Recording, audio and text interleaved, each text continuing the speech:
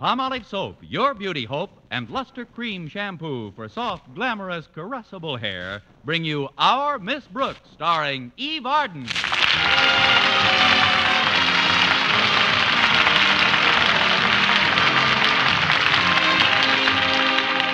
Our Miss Brooks, who teaches English at Madison High School, was as grateful as any other teacher for the Washington's birthday holiday observed last week. And far be it from me to criticize the actions of the father of our country, but I can't help wishing that he had taken more than just one day to be born. of course, the one day off was better than nothing, but I must admit I looked forward to a weekend of not teaching with considerable anticipation. It isn't that I'm not fond of my pupils. I think they're a wonderful horde of kids.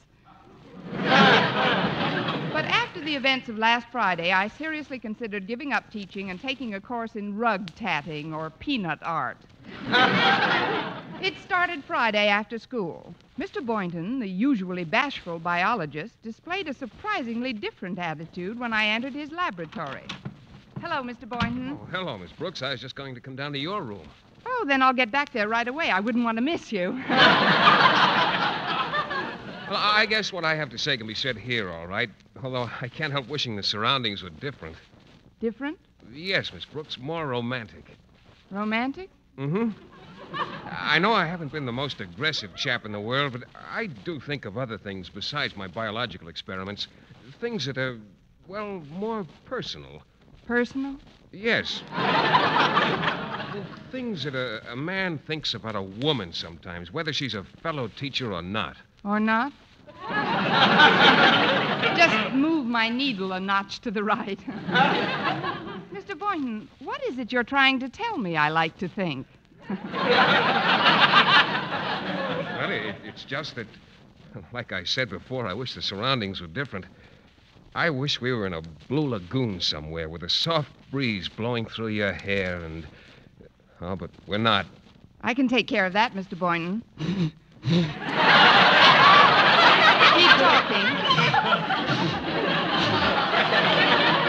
Of course, I, I don't know why we have to be in a blue lagoon. I guess I just feel more confident when I'm over water. Well, hop up on this stool and I'll fill a pan. I mean, please continue, Mr. Boynton. Well, as you know, Miss Brooks, I've been coaching the basketball team while Mr. Haney's been ill, and, well, we've been lucky enough to win the championship in our particular conference. Yes, I know. We've been invited to play in the state championships at Martinsville. The entire squad leaves this evening. We won't be back until next week. I, I just want you to know that, well, Yes, Mr. Boynton? it's terribly important that we win the championship. Oh, you'll win it, Mr. Boynton. But what else were you going to say? Well, I'm not so sure we'll win it. After all, we're playing a round robin. Well, I bet you could spot him four worms and beat him easily. I know you're kidding me, Miss Brooks, but I- I don't mind. You know, now that I'm leaving town, I've come to realize certain things about our relationship. At last, formal recognition that we have a relationship. Well, without getting too basic too quickly, I'd like to state that in the past, whenever the situation seems auspicious for declaring certain emotional reactions I've felt, upon finding myself in close proximity to you, that is, some outward manifestation seems to. Pardon me, Mr. Boynton. Couldn't you get a little more basic more quickly? Well, what I'm trying to say, Miss Brooks, is that there always seems to be some sort of interruption when I want to talk to you about certain things. What kind of interruption? I see what you mean. Come in. Well, Boynton, as principal of Madison High, I. Oh, I thought you were alone. We were for a minute. That is, uh, I was just saying goodbye to Mr. Boynton, Mr. Conklin. I see, Miss Brooks. And have you finished saying goodbye? No, Mr. Conklin, we haven't. This boy's been taking brave shots. What I mean to say, sir, is that we can finish talking after you've spoken to me. Very well. I simply dropped in to wish you good luck with the team, Mr. Boynton. Remember, by winning the championship cup, you not only honor yourself and the athletes involved, but you bring further glory to the already hallowed name of Madison High. Glory and prestige, fame and How much have you bet on the game, Mr. Conklin? Just, uh, just a fin. I was. No! you know I never bet. I, it's just that we must get that cup. Well, don't worry, Mr. Conklin. We've got the high scoring forward of the conference on our team, you know. I see. And how's this boy's condition? Tip top, I trust. Well, he's six foot five inches tall, so his top would be hard to tip.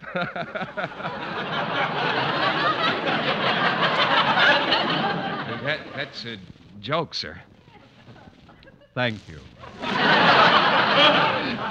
By the way, Miss Brooks, is this the boy we transferred from Miss Enright's English class to yours? Yes, sir. Well, tell me, how's his state of mind? What there is of it is quite happy. Well, I know he's not a brilliant student, but now that he's in your class, Miss Brooks, I'm sure he'll improve. Uh, from what I hear, the boy's an all round athlete. I want him eligible for other sports during the coming term. Well, I'll do whatever I can, Mr. Conklin. Of course, it's difficult to give a test without any questions in it, but uh,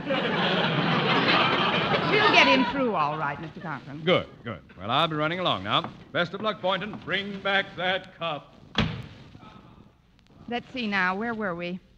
Oh, I know. You were telling me something personal. Well, I wouldn't like to repeat myself, Miss Brooks. Do you remember what it was I said last? Oh, how could I possibly remember what you said minutes ago?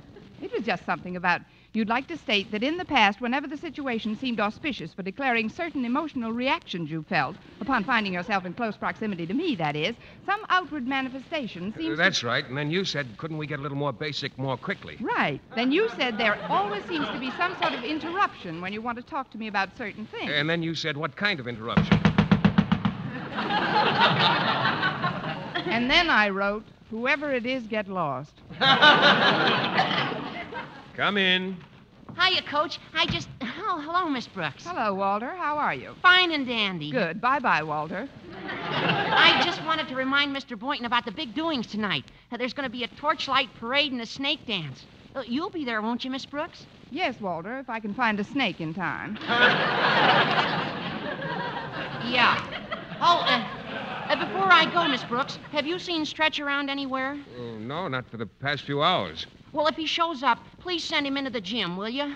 I want to give him exact directions so he won't get lost on his way to the bus station. Knowing Stretch, he can get lost after he's got the directions. We'll send him in to you if he shows up here. Thank you, and good day, Walter Denton. Uh, thank you, Miss Brooks. And may I suggest that you speed Mr. Boynton on his way with a salutation befitting the mentor of a sterling aggregation such as the Madison basketball team? Walter. So long, Coach.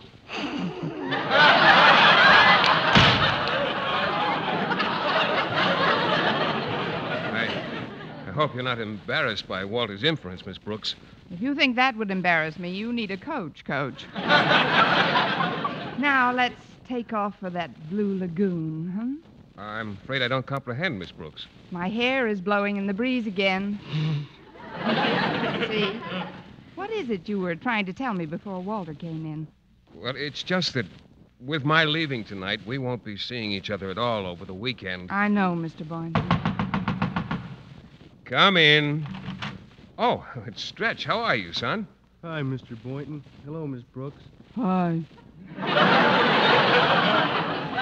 Well, how do you feel about our impending junket? Huh? Mr. Boynton wants to know how you feel about the trip you're taking this evening. Oh, well, I ain't going. Stretch, don't say ain't. Don't say you ain't going. What's the trouble, Stretch? You're not ill, are you? There's nothing wrong with me physically. My trouble is mostly mental. Well, don't be self conscious. No, wait. What is it, Stretch? Maybe I can help you. I'm afraid you can't, Mr. Boynton. You see, it's, well, it's about a girl. A girl? You've seen them. They play on girls' softball teams. Is there anything I can do to help, Stretch? Yes, Miss Brooks, but I'd rather talk to you alone, if it's all right with Mr. Boynton. Why, certainly, Stretch. I've got to get down to the gym for a few minutes anyway. Miss Brooks, you will try to straighten him out, won't you? You know how important he is to the team. I'll do what I can, Mr. Boynton. Good. We'll see you at the snake dance tonight. Now then, Stretch, tell teacher all about it. Well, I know I ain't good in English, Miss Brooks. You're not good in English. I know. but ever since the first test you give me, I knew that I was going to improve and get the kind of marks in English that I've always striven for.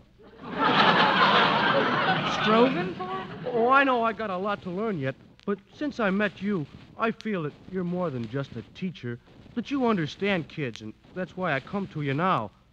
I ain't much at speeches, so I'll just say it right out, Miss Brooks. I'm in love. In love? With what? A who? My best friend's girl, Walter Denton.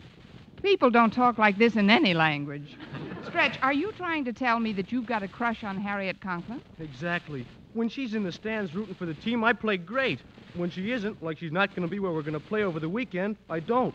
So I ain't going, Miss Brooks. Oh, now wait a minute, Stretch. Have you told Harriet how you feel about her? Oh, no. Nor Walter either. I wouldn't want to hurt neither of their feelings. It's just that I can't play without Harriet in the stands. Look, Stretch. I heard that they're going to show the games on television right here in Madison. That means that Harriet will be in the stand. She'll be right on the sidelines watching your every move.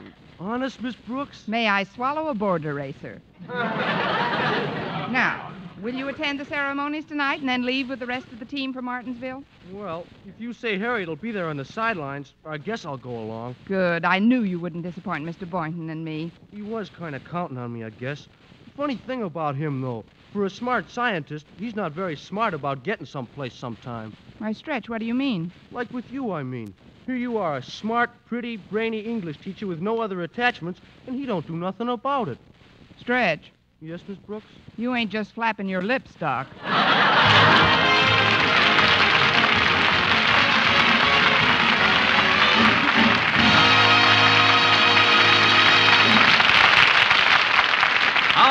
Brooks, starring Eve Arden, will continue in just a moment. But first, here is Verne Smith. Ladies, what's your complexion problem? My skin's so dingy. Mine's oily. My skin's dull, coarse looking. Doctors have proved that many complexion problems respond wonderfully to proper cleansing with Palmolive soap, regardless of age, skin type, or previous beauty care. Oily skin looks less oily. Dull, drab skin fresher and brighter. Coarse looking skin appears finer. To win such complexion improvements, simply use Palmolive soap. Nothing but Palmolive is needed, the way doctors advise. Wash your face with Palmolive soap three times a day. Massage with Palmolive's wonderful beauty lather for 60 seconds each time to get Palmolive's full beautifying effect. Then rinse. Look for improvements within 14 days. Remember, 36 doctors, leading skin specialists, advise this way for 1,285 women with all types of skin and proved it could bring lovelier complexions to two out of three. So forget all other beauty care. Use Palmolive soap the way these doctors advised for a fresher, brighter complexion. And ladies, enter the $100,000 49 Gold Rush contest. The makers of Palmolive soap offer $49,000 first prize and over 4,900 other prizes. Get entry blanks and complete rules from your dealer now. You may win a fortune in cash.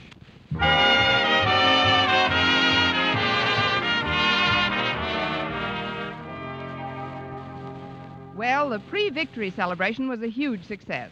A one hour snake dance and the six mile torch parade came off promptly at 8 o'clock, and my feet came off promptly at 9. After seeing the basketball squad off for the bus depot, I immediately limped home for a nice warm bath. Mrs. Davis, my landlady, was sitting in the living room when I opened the door. Good evening, Connie. How was the snake dance? Very snaky, thanks. Did you bid Mr. Boynton a fond goodbye, Connie? Yes, Mrs. Davis. What did he say? Goodbye. Oh, that man. When is he going to open his eyes and see that? Oh, I think they're opening a little bit, Mrs. Davis. This afternoon in the laboratory, he really started to make a noise like an interested party. Oh, what happened? Nothing. I got all involved with the trials and tribulations of a star basketball player and his unrequited romance. But the weekend is upon us, and I won't have to play Dorothy Dix for a few days anyway. What are you going to do tonight, Connie? I have some very elaborate plans, Mrs. Davis. Tonight I'm going to have myself a schoolteacher's B and B. Benedictine and brandy? No, bath and bed. if you'll excuse me now, I'll drag my carcass into the bathroom and run a tub. Oh, you don't have to do that, Connie. I've already let the water in. I was going to bathe Minerva tonight. The cat? But cats aren't supposed to get baths, are they? Oh, Minerva loves it. Besides, I've just got to bathe her. Why? Are the mice complaining? No, she was walking near the sink this morning and slipped on the tile, poor dear. Fell right into some dough I was mixing for bread. Oh. Then maybe Minerva better use the water that's in the tub. She can wait. You run along, Connie, and take a nice restful. Now, who in the world can that be? Coming! Stretch, what are you doing here? Why aren't you at the bus depot? I ain't going. Again? well, come in for a minute. Thanks, Miss Brooks. This is Mrs. Davis. You remember Stretch? Of course. He's the famous quarterback on our hockey team, isn't he? No, lately he's been playing goalie for our tennis team.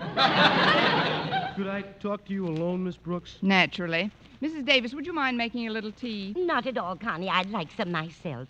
How about you, Stretch? Nice glass of milk? No, thanks, Mrs. Davis. Well, I'll bring some anyway. Nothing like milk for a growing boy. I guess you're pretty disappointed in me, Miss Brooks, but I. Say, what's that? What's what? Right behind Mrs. Davis. There's a cake walking into the kitchen. Relax, Stretch. I see it too. That's just our cat, Minerva. She fell into some dough. now tell me why you're not with the team. It's Harriet, Miss Brooks. Even though she'll be seeing me play on television, I won't be able to see her. I was afraid you'd figure that out. um, look, Stretch. I'll get you a nice picture of Harriet and send it airmail. You'll have it by game time tomorrow night. How's that? Gee, I don't know, Miss Brooks.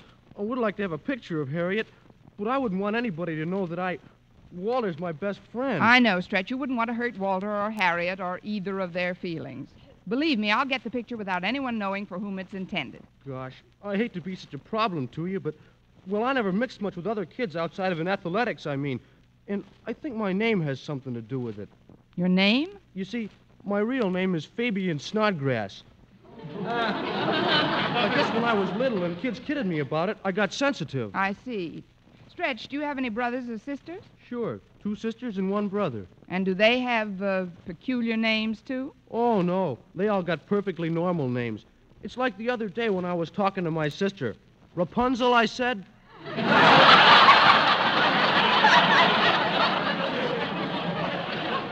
Rapunzel. well, that does it. I'll go into your case more thoroughly when you get back from this trip, Stretch, but right now you've got to rejoin the team. Come along. You won't forget to send the picture, Miss Brooks. I won't forget, Stretch. Lots of luck and goodbye again. Rapunzel Snodgrass. now, there's a family for you. Oh, well, now for that bath. I better see if the water's still warm. Oh, it's pretty cold. I'd better let it out and run a fresh one. Come and get your tea, Connie. I'll be right there, Mrs. Davis. I'm afraid Minerva's water got a little cool. I'm running another tub for myself. Very well, dear. Where did Stretch go? Back to the bus depot. Wait till I close this door. The poor kid, he's hopelessly in love. Yes, I overheard. But he shouldn't worry so much about the other boy in the case. Why, when my sister Angela was a girl, she never went out with one boy at a time. She didn't? No, she played the field, Angela did. Why, I remember one time she went out with twins for over a year before she found out they were triplets. Poor Angela. The eternal quadrangle. I'd better take a look at that bath. There. Nice and hot. Now to get these clothes off and. Oh, no, not another interruption. Hi, Miss Brooks. It's me. Can I come in for a minute? Yes, Walter, but that's about all. I'm trying to take a bath. Well, that'll have to wait, Miss Brooks. Well, it's getting plenty of practice. What's the matter, Walter? It's Stretch. He disappeared from the station, and when last seen, he was heading in this direction. He did come here, Walter, but I sent him back down to the depot. Well, that seems like a pretty silly maneuver. Well, what did he come here about? He wanted some advice. He's in love, Walter. In love? in love with who? Whom? Who's she?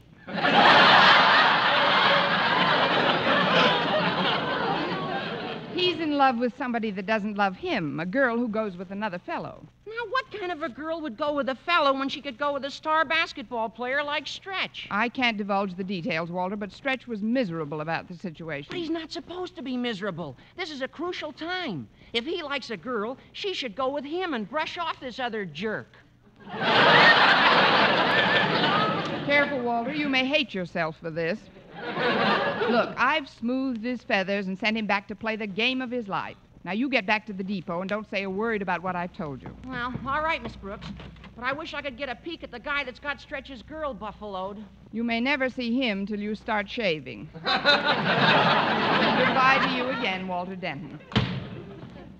Oh, let's see how this water feels now. It could be warmer. I'll let a little out and refill it. Singing in the bathtub, la da da da da. Singing in the bathtub. Now we'll just put the plug back in, run some more water. I always thought that teaching was my only profession, but bathing can be quite a career, too. there, that ought to be just right. Singing in the bathtub, nothing can go wrong. Singing in the bathtub. Oh, I should live so long. come in, come in, whoever you are. Oh, it's Mr. Boynton. Oh, I'm sorry to bother you, Miss Brooks, but Walter Denton's disappeared from the bus depot. Have you seen him? Of course I've seen him. Won't you come inside, Mr. Boynton? Uh, I haven't time, Miss Brooks. You say you saw Walter. Where is he now? On the way back to the bus depot. Oh, good.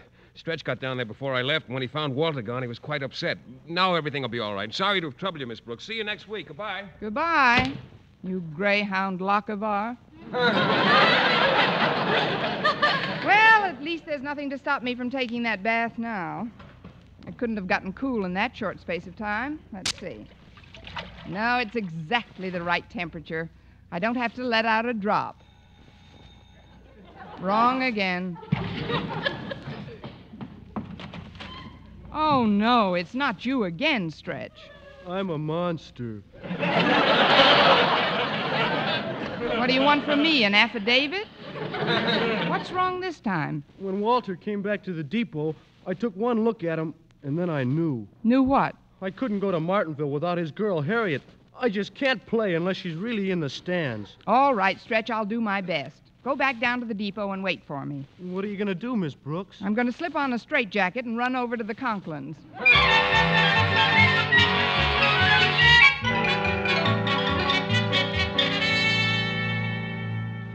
I wouldn't have disturbed you this late, Mr. Conklin, but it's absolutely essential if you want Madison to win that championship. What's essential, Miss Brooks? That you let Harriet here go to Martinsville with the team. Me? Go with the team tonight? But of course it's Walter. He needs me. Stop squealing, girl. but don't you see, Daddy? Walter's the manager of the team and he needs me by his side. I hardly dared to hope for it, but now I know. Walter's my life, my future, my all. Walter isn't the one who requested that you come along, Harriet. It was Stretch. Stretch? But he's the best athlete at Madison. I'll rush to his side at once. what about Walter? Who needs Walter? When does the bus leave, Miss Brooks? Not, not so fast, young lady. What's this all about, Miss Brooks? Well, it's Stretch, Mr. Conklin. He's got a crush on Harriet. And if she'll just be in the stands and root for him, he says Madison is bound to win. There's really no harm in it. No harm in it? But Martinsville is 400 miles away. The basketball team is composed entirely of boys. Boys and Mr. Boynton. Who'd chaperone my daughter? Who else but Miss Brooks? Come on, Miss Brooks. Pack a bag and we'll have to. Oh, just a minute, Harriet. I can't go oh, to of Martin. course you can. It's your idea, isn't it? Now go on home and get. Wait a minute. With Mr. Boynton coaching the team, you'll need a chaperone yourself. then why don't you come along, Daddy? What? Me? The principal of the school leave Madison for a weekend? To watch our basketball team play a round robin with the best teams in the state? Tell your mother we're leaving at once. oh, just one thing, Mr. Conklin. Yes? Do you think they have a bathtub in Martinsville?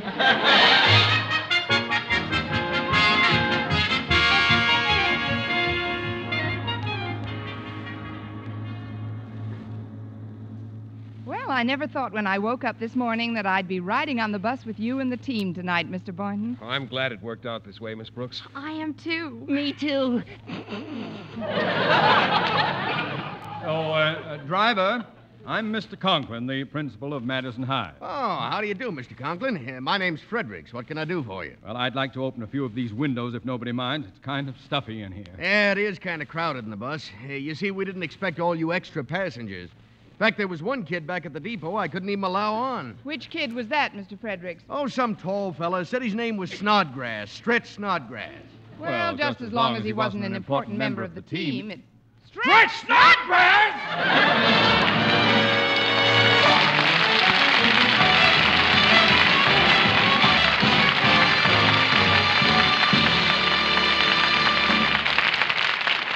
Eve Arden as our Miss Brooks returns in just a moment, but first. Dream girl, dream girl, beautiful luster cream girl. Tonight, show him how much lovelier your hair can look after a Luster Cream shampoo. Only Luster Cream brings you Kay Daumit's magic formula blend of secret ingredients plus gentle lanolin. Gives loveliness lather even in hardest water. Glamorizes your hair as you wash it. Luster Cream. Not a soap, not a liquid, but a dainty cream shampoo. Leaves hair fragrantly clean, free of loose dandruff, glistening with sheen. Soft, manageable. Gives new beauty to all hairdos or permanents. Four ounce jar, one dollar. Smaller sizes, either tubes or jars. Tonight, try Luster Cream Shampoo and be a Dream girl, dream girl, beautiful luster cream girl. You owe your crowning glory to a luster cream shampoo. And now, once again, here is our Miss Brooks. Well, Mr. Conklin was furious, and the only way I could square myself with him was to give up my seat to Stretch when the bus returned to pick him up. Then I went home, got undressed, and steered my stubborn little course for the bathroom. Now I can really. T- oh, hello, Mrs. Davis. Hello, Connie. I was going to postpone Minerva's bath till tomorrow, but she just couldn't wait any longer. Oh? When did you put her into the tub, Mrs. Davis? Just this minute, Connie. Well, I can't wait any longer either. Move over, Minerva.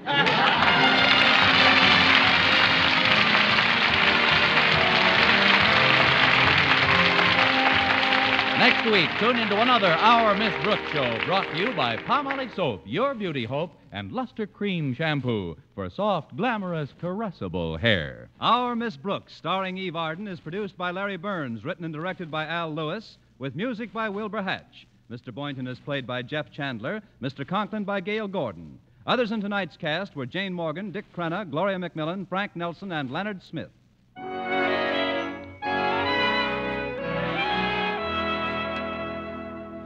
Men, do you shave with a lather or brushless shave cream? Palmolive shaving cream comes both ways, and whichever way you prefer to shave, you'll find that using either Palmolive brushless or Palmolive lather shaving cream can bring you more comfortable, actually smoother shaves. Here's the proof. 2,548 men tried the new Palmolive way to shave described on the tube. And no matter how they had shaved before, three out of every four got more comfortable, actually smoother shaves. Get Palmolive brushless or Palmolive lather shaving cream today.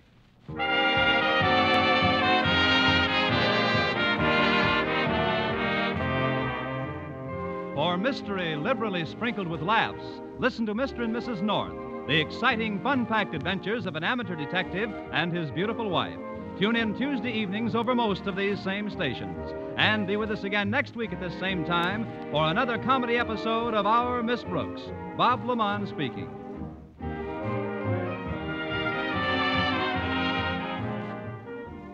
Have you ever stopped to realize how much freedom the American way of life offers you? Remember, in many countries, people have lost the freedom to work where they choose, start their own business, own their own home, invest their money as they see fit.